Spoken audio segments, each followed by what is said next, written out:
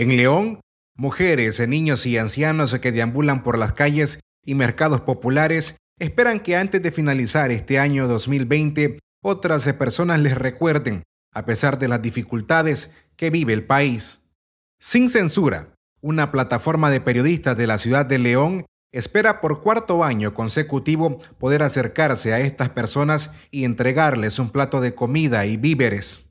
La periodista Paola Torres reconocida también por sus poesías, decidió tras la crisis de abril del año 2018 abrirse espacio en nuevos horizontes. Sin embargo, asegura su labor social es no olvidar a los desprotegidos de Noticiero Sin Censura, decidimos hacerlo de esta manera, celebrar eh, a través de una entrega de alimentos, eh, de provisiones estas festividades navideñas en las que la mayoría de las personas estamos compartiendo en familia y acordarnos de los más necesitados. Carlos, Paola, Lester y Juan Carlos se vieron obligados a cerrar su espacio informativo en una emisora local en el año 2018.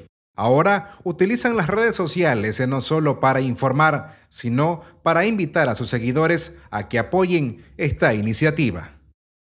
Siempre lo realizamos cada 23 de diciembre, es una fecha que pretendemos mientras llevemos a cabo este proyecto no cambie. El 23, un día antes de esta gran celebración del nacimiento de Jesús, 24 de diciembre, salimos nosotros a compartir un almuerzo navideño y la entrega de provisiones o lo que el pueblo nos dé para nosotros posteriormente entregar. Las personas pueden apoyar a los periodistas del sitio Sin Censura para entregar un almuerzo navideño el próximo 23 de diciembre.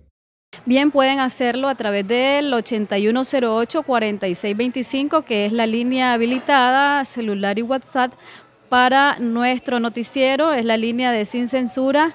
Eh, puede marcarnos por allá, tanto una llamada un mensaje de texto vía WhatsApp y estamos para servirle y contestarle. Eh, y nosotros nos dirigimos, si alguien nos dice, puedes pasar a tal lado, con mucho gusto hacemos presencia, recogemos su donativo. En León, al igual que sin censura, se estima que otros nueve espacios informativos se vieron obligados a cerrar sus emisiones en medios tradicionales desde el estallido social del año 2018. En el occidente del país, este es un reporte de Francisco Torres Tapia.